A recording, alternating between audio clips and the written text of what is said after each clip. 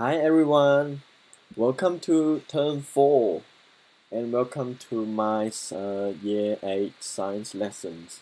It's been a while, uh, it's been two weeks uh, since I make uh, videos. And today I'm gonna introduce to you a topic that we are going to do for this uh, coming term which is a Monday. And this term we will mostly be doing energy. Okay topic on energy which involve uh, kinetic heat uh, frictions and etc and let's get into it. I hope you guys had a great holiday. I certainly did. And this is the new thing that I'm trying out. Okay uh, that have my face in it and my lesson on the on your left hand side. And yeah bear with me. So uh, let's begin. Introduction to energy is what this uh, quick video is gonna be about. And there are three keywords that you will need to know. Uh, keywords number one is obviously energy. Keywords number two is work and keywords number three is law of conservation of energy. Okay. So, energy makes things happen right there. Okay. Energy makes literally everything happen. What is energy? It's actually very hard to explain what energy is. Uh, because you cannot weigh and you cannot see energy, okay? Uh, very hard to define energy because they it cannot be weighed or uh, seen not seen cannot be seen. However it can be measured okay there are multiple way of measuring energy. Uh, for example joules or watts okay like kilowatts kilojoules. These are two and calories. These are uh, the main few things that you can use to measure. Uh, it can be measured. I will put it over here. It can be measured however uh, by these three things. Uh, we have uh, joules, uh, watts, and also uh, calories. Three things that we can measure energy. There are multiple ways of measuring it, okay, which you will learn very soon. So, uh, uh, things that involve energy, I want you to take a minute to actually uh, think about what do you think are the things that actually involve energy. Uh, you can pause the videos or you can uh, list it out yourself and here are a few. Number one thing is your roller coaster. If you look at them going up and down, up and down, uh, those involve various different type of energy okay?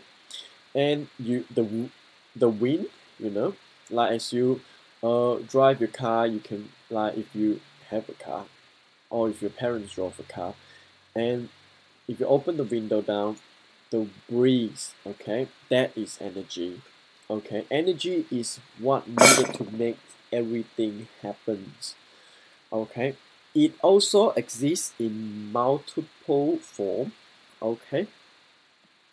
Uh, exists in multiple form which I will explain the next videos uh, the different types of energy okay?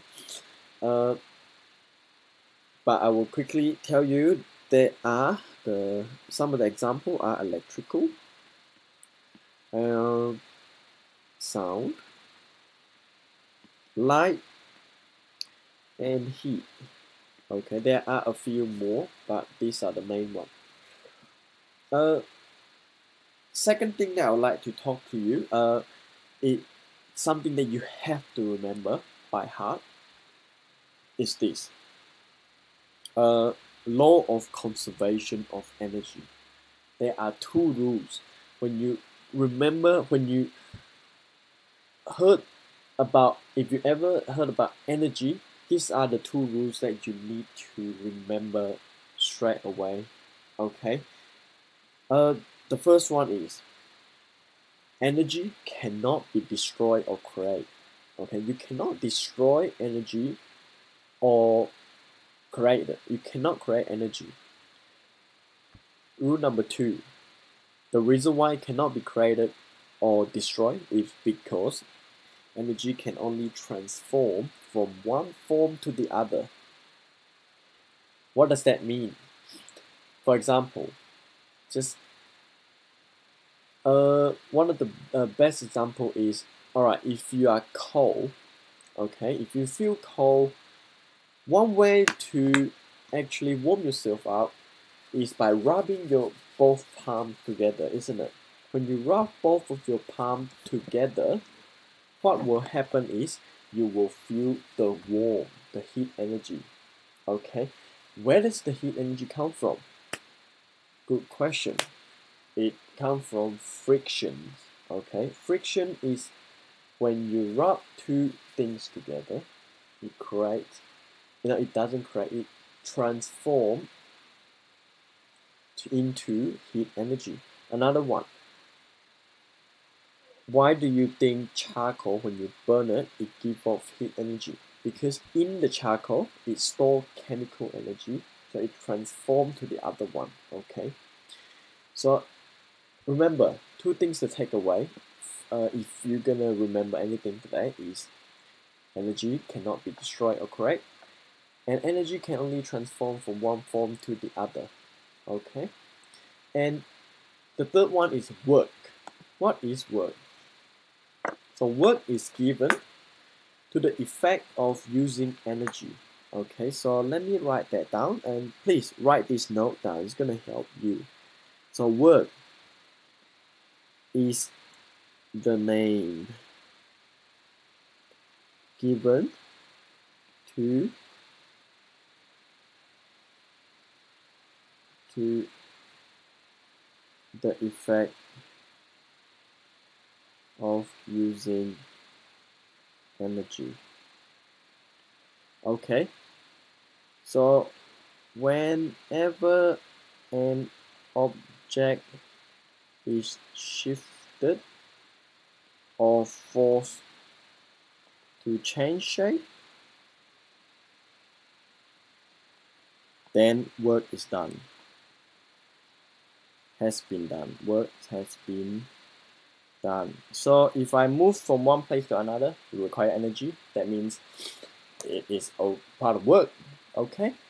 So to sum up today's videos, uh, we look at three keywords, energy, work, and law of conservation of energy. And energy cannot be weighed or seen, but it can be measured. Okay, and it's very hard to define energy, but it comes in different multiple forms such as electrical, sound, light, heat. And remember, the two laws on conservation, uh, two rules in law of conservation of energy is energy cannot be created or destroyed, and energy can only transform from one form to another. That's it for today and well we will see you in the next lesson. See ya. Bye. Peace out